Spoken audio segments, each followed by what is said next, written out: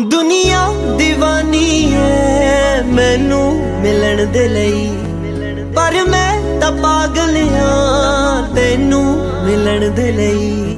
ਕੰਮ ਕਰ ਛੱਡ ਆਵਾਂ ਕੁਝ ਵੀ ਨਾ ਪੀਵਾਂ, ਖਾਵਾਂ ਤੇਰੇ ਲਈ ਲਿਆਂਦਾ ਚਾਕਲੇਟ।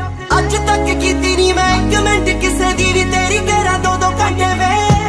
ਡੂ ਯੂ ਨੋ ਮੈਂ ਸੁੱਤਾ ਨਹੀਂ ਉਸ ਦਿਨ ਦਾ